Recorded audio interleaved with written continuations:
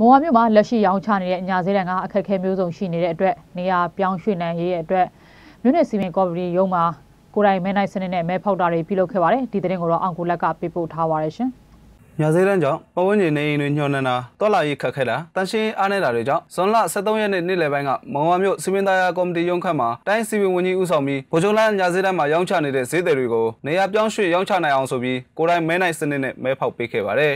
ဒါမြို့အတွက်အကောင်းဆုံး ဒါစဉ်းစားပြီးဆောင်ရွက်ချက်တစ်ခုလို့ပဲပြောချင်တယ်လေဒါကိုလည်းအဲတို့စီမြို့နယ်စီပင်သားရေးကော်မတီတစ်ခုတည်းနဲ့လုပ်တာမဟုတ်ဘဲနဲ့လွှတ်တော်ကိုယ်စားလှယ်တွေဝင်ကြီးတွေနောက်ဆုံးပြောရင်တော့ဝင်ကြီးချုပ်ကိုယ်တိုင်ကွင်းဆင်းပြီးတော့လေဒီနေရာကိုသူလည်းကြိုက်ပါတယ်သူတို့လည်းဒီနေရာအားစားစားရရအဆင်ပြေတယ်အားလုံးအတွက်အားလုံးအဆင်ပြေတယ်ဆိုပြီးတော့လက်ခံတဲ့အတွက်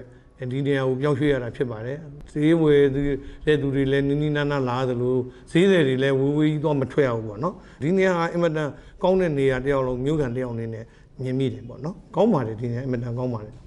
ဒါပေမဲ့နေရာပြောင်းရွှေ့ရောင်းချရမယ်ဆိုရင်ခက်ခဲတွေအများကြီးရှိတဲ့အပြင်အယောင်ဝယ်တွေပါကြာဆင်းသွားနိုင်ပြီးအသစ်ကပြန်ဆရမယ့်အနေအထားတွေရှိနေတဲ့အတွက်နေရာသစ်ကိုမပြောင်းရွှေ့ချင်တဲ့သူတွေလည်းရှိနေပါတယ်တို့ကဟိုနေရာမှာခြေကြပြီးသားအခြေကြပြီးသားဆိုတော့ခါကျတော့ဟိုနေရာမှာပဲအဆင်ပြေမယ်ခုနောက်ပြောင်းတဲ့အစ်စ်မှာတို့အဆင်မပြေနိုင်ဘူးဘာလို့ဆိုတော့ဒီညာစင်းတန်းကိုစထွက်ကြတဲ့ကရောင်းလာခဲ့ရတာအချိန်တွေအများကြီးပေးခဲ့ရ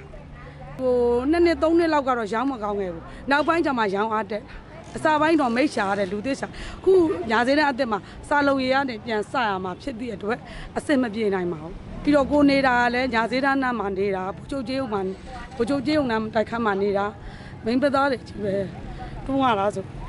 ဒီဘက်ရောက်ရင်တော့အစင်မပြေနိုင်ဘူးညာစီတဲ့နေရာသစ်ကိုလက်ရှိပိုချိုလန်းကနေအစိုးရရုံးတွေအများဆုံးရှိရာရုံးကြီးလန်းကိုပြောင်းရွှေ့ဖို့စီစဉ်နေတာပါနေရာသစ်ကိုဒီလ19ရက်နေ့နောက်ဆုံးထားပြောင်းရွှေ့ရမှာဖြစ်ပြီး22ရက်နေ့မှာတော့ဖွင့်ပွဲပါပြုလုပ်တော့မှာပါ တို့အနေနဲ့တော့ဘာမှပြောတာမရှိပါဘူးသူက93ခုနှစ်က